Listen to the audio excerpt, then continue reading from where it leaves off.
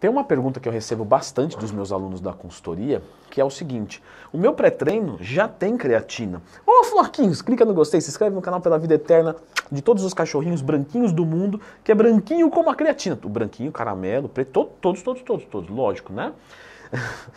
E aí eu recebo muito essa dúvida dos alunos da consultoria. Pô, Leandrão, eu já tenho ali creatina no meu pré-treino. Eu devo baixar a quantidade? Ou será que por o pré-treino ali, de repente, ter uma cafeína junto com a creatina atrapalha a absorção e é meio que excretado, ou se aquela creatina já é utilizada durante o treino, porque tem alguma outra coisa. Então, estou confabulando coisas aqui que poderia né, passar pela cabeça das pessoas. E eu sei que passa muita coisa na cabeça das pessoas, porque eu abro caixinha de perguntas todo dia no Instagram e eu recebo algumas coisas assim que eu falo, caramba, o cara pensou isso mesmo. E é legal, tá? Inclusive, se quiser me mandar uma dúvida, arroba Twin, porque isso vai me enriquecendo na hora de vir aqui falar para vocês. E a grande verdade é que o que a literatura nos mostra ali é que quando tem algum estimulante junto, uma cafeína ou alguma coisa assim, você pode ter uma pequena excreção né, da, da creatina.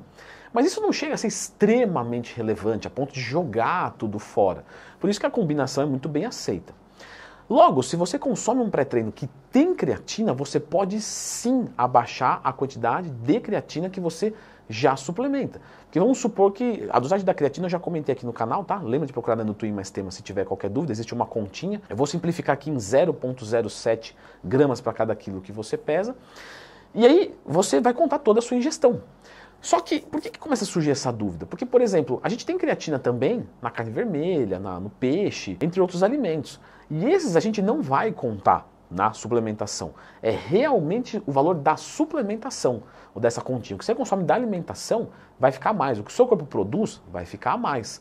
Logo, pode haver aqui algum tipo de equívoco. E não é para ter equívoco, certo? É para a gente ficar muito transparente nisso. Suplementação com creatina é a quantidade total do dia. Você consome um pré-treino que tem 3 gramas de creatina, então você pode debitar isso da sua ingestão de 3 gramas. Agora, né, uma coisa que eu fiz uma atenção no meu curso que ensina como montar uma dieta do zero, o link está na bio, tem gente que não vai treinar, certo? Em alguns dias na semana. Então, de repente, a pessoa treina 5 dias por semana e dois ela fica mais tranquila ali descansando. E ela não usa o pré-treino. Naquele dia que ela não usa o pré-treino, ela tem que lembrar que ela precisa aumentar a ingestão da creatina dela para que chegue na dose correta. Tem gente que às vezes vai usar é, o pré-treino só em dias de cansaço. Que, que, é um bom uso, inclusive. Eu sempre sugiro isso para os alunos da consultoria. Guarda para o dia de cansaço, porque você vai ser sempre sensível né, ao estimulante. E aí, só naquele dia você vai debitar. Então, assim, é interessante o quê?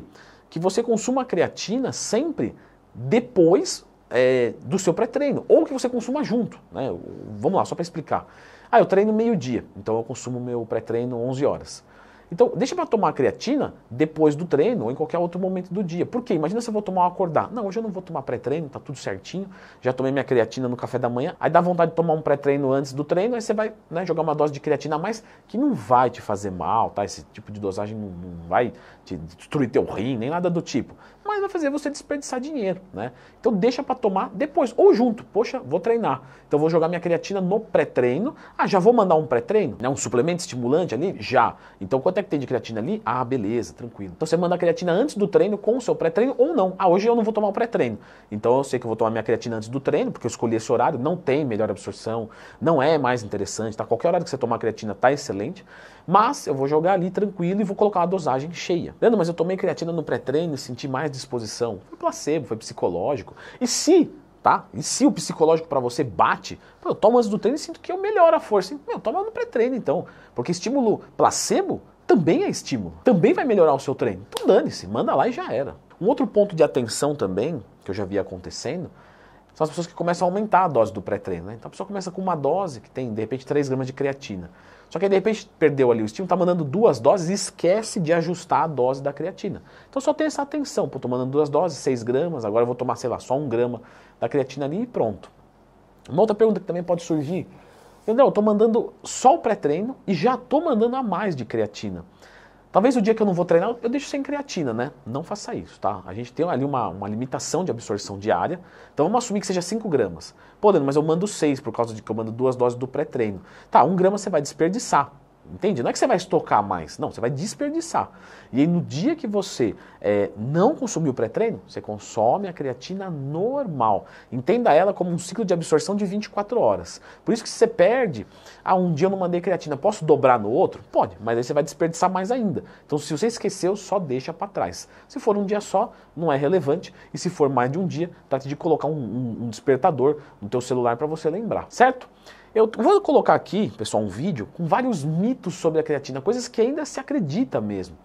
Então, dê uma conferidinha, acho que vai ser bem legal. Lá, por exemplo, eu falei de creatina e cabelo, creatina e rins, é, a creatina para a produção de creatina do organismo. Será que isso é problemático ou não, em longo prazo, né? O que as evidências nos mostram, etc. Então, dá uma conferidinha nesse vídeo aqui.